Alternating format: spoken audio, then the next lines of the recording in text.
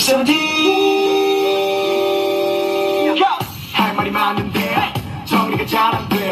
도와줘